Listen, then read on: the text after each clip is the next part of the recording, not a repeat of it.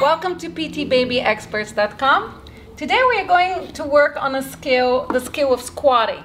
And it's called squatting in play, which is what um, your child should be doing around the age of 17 months to 2 years of age.